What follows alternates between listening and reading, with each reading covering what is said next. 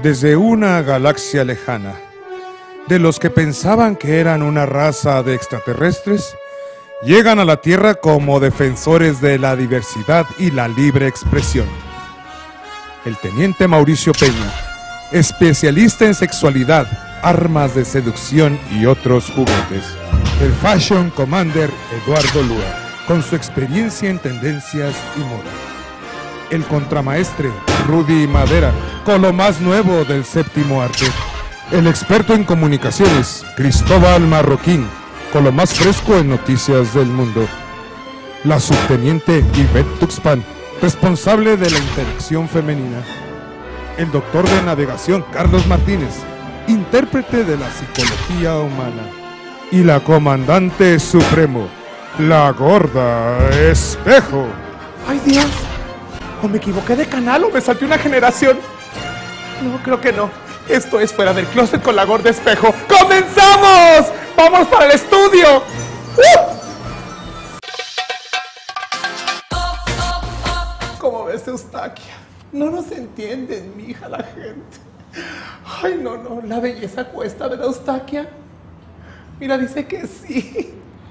Ay, doctor, estoy mortificada, doctor. ¿Qué pasa? gordita? Porque quedó tan bonita la escenografía que ahora me siento fea. No, sí, con ese vestidazo de lentejuela Sí. brilla. No parezco Olga Guillot con este traje. Ver, Tú me acostumbraste. No, doctor.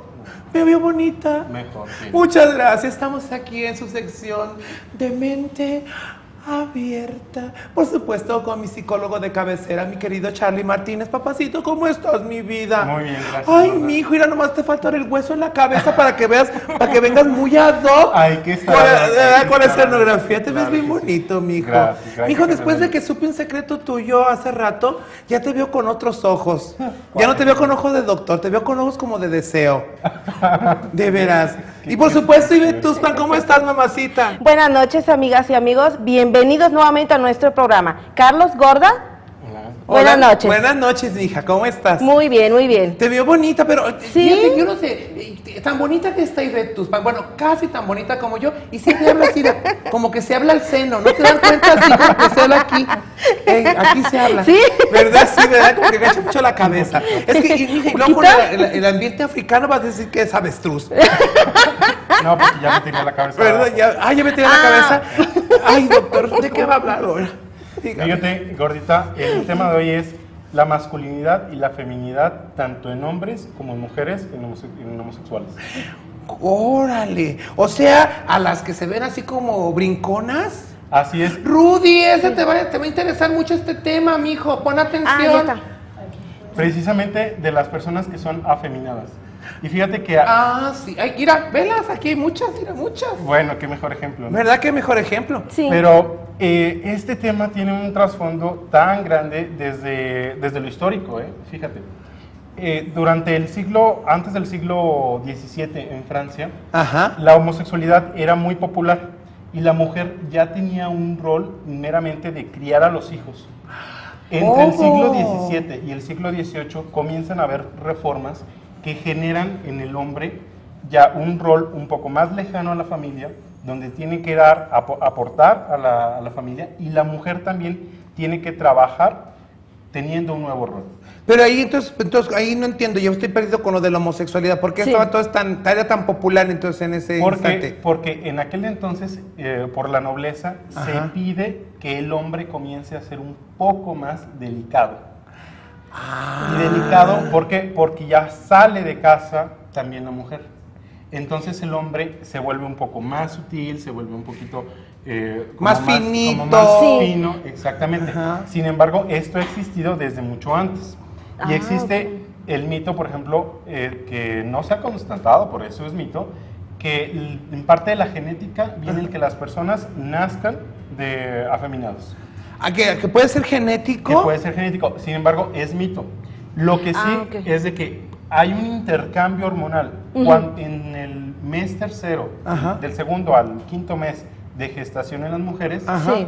hay un intercambio hormonal y entonces el, el feto, depende, ahí se, se decide si va a ser niño o va a ser niña de acuerdo con el sexo, Ujú.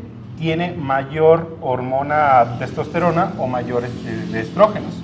Órale. Cuando, todavía fíjate, cuando la mujer ya gestó a varias, a varias niños, a varios bebés, Sí. por ejemplo, te hablo de 5 o 7, los últimos tienden a ser amanerados.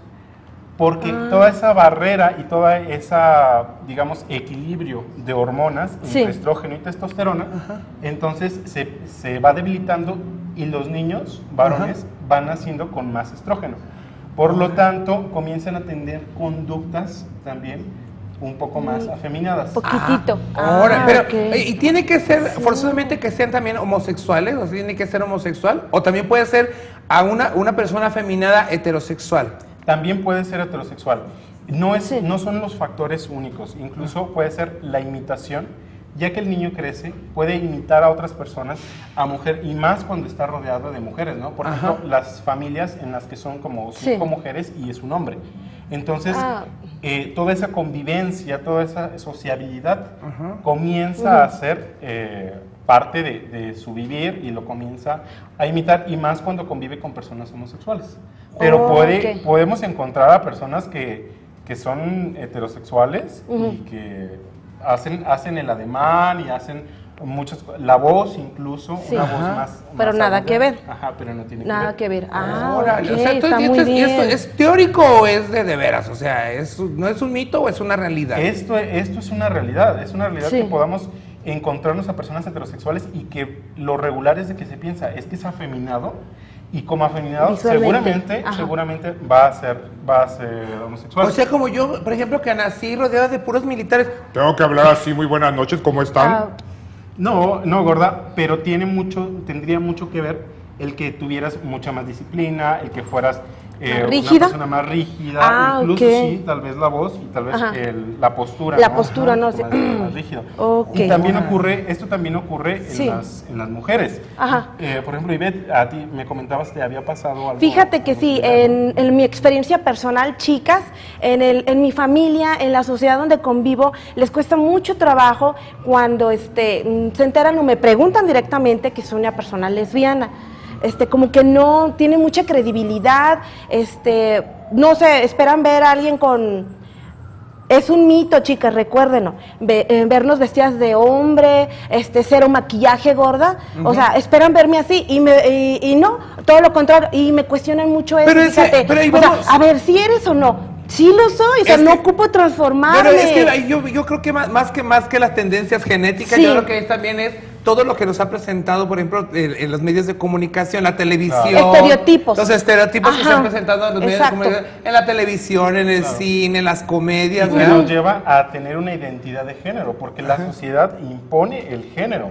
Cuando Sí. eh, antes se veía a una mujer en bicicleta, ¿no? Hace, o sea, ya en- hablamos de décadas muy atrás, o por ejemplo las mujeres en pantalón, ¿no? Ahora es muy común haber mujeres en pantalón. Y antes era, la- antes se les veía y, y es que es lesbiana, o es que es, es un hombre, o qué es lo que pasa ahí. Sí. Pero fíjate, también hay un, hay un mito bien arraigado, que es el que los homosexuales, los hombres homosexuales, afeminados, son pa- sean pasivos, de un rol Ah. sexual pasivo. Oye, y si Y de eso platicamos la próxima vez, ¿qué te parece, mijo? Claro, ahí Para continuar ese tema, Sí, sí, me hace que muy sí. interesante. ¿Les interesa el tema, muchachos? ¿Sí o no? Sí, ¿no? ¿Qué te Igual las parece? mujeres, ¿no? También. ¿Verdad? Entonces, mira, ya hablamos de, de- de que pueden ser tendencias a que se- sean hombres o mujeres, Ajá. o sea, físicamente, pero sean afeminados o no. Eso lo hablamos. Ahora vamos a hablar para el siguiente tema de, de- de qué tal este, las pasivas son activas Ajá, sí. ¿O las masculinas? o las masculinas, masculinas. también. Claro. Ah, muy bien. Ay, querido doctor, gracias. Siempre, qué bonitos roles, se ve bien bonito usted. Gracias. En esta sección de mente abierta. Gracias, Ivette. Gracias. Gracias. doctor. Buenas noches. Continuamos.